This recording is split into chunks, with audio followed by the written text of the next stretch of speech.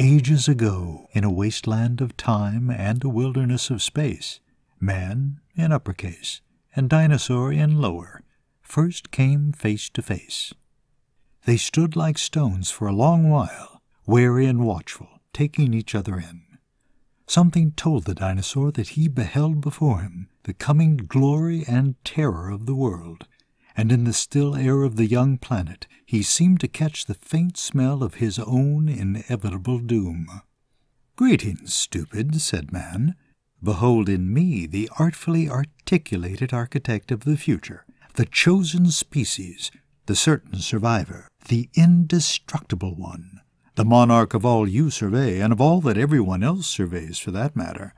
On the other hand, you are, curiously enough, for all your size, a member of the inconsequent ephemera. You are one of God's moderately amusing early experiments, a frail footnote to natural history, a contraption in a museum for future man to marvel at, an excellent example of Jehovah's jejune juvenilia.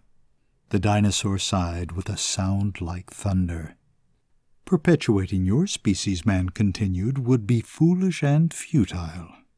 The missing link is not lost, said the dinosaur sorrowfully. It's hiding. Man paid the doomed dinosaur no mind. If there were no man, it would be necessary to create one, said man, for God moves in mysterious but inefficient ways, and he needs help. Man will go on forever, but you will be one with the mammoth and the mastodon, for monstrosity is the behemother of extinction. There are worse things than being extinct, said the dinosaur sourly, and one of them is being you. Man strutted a little pace and flexed his muscles. You cannot even commit murder, he said, for murder requires a mind. You are capable only of dinosaur slaughter. You and your ilk are incapable of devising increasingly effective methods of destroying your own species, and at the same time, increasingly miraculous methods of keeping it extant. You will never live to know the two party system, the multi party system, and the one party system. You will be gone long before I have made this the best of all possible worlds, no matter how possible all other worlds may be. In your highest state of evolution, you could not develop the brain cells to prove innocent men guilty, even after their acquittal. You are all wrong in the crotch, and in the cranium, and in the cortex. But I have wasted enough time on you.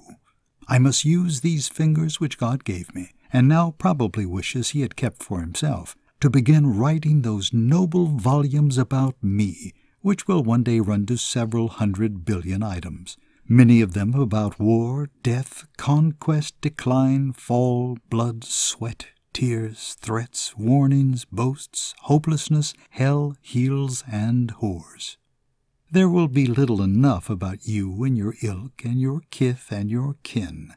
For after all, who were you and your ilk and your kith and your kin?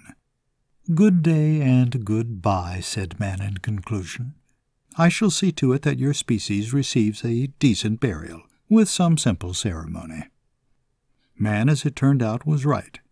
The dinosaur and his ilk and his kith and his kin died not long after, still in lower case but with a curious smile of satisfaction, or something of the sort, on their ephemeral faces. Moral. The noblest study of mankind is man, says man. That was The Human Being and the Dinosaur by James Thurber. I'm James Denas. Thank you for listening.